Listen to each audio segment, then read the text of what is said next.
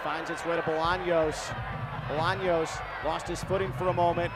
Sends it into the area. That's a goal. It's three. Bolaños delivers it on a platter for Vinyals, who has his second of the night.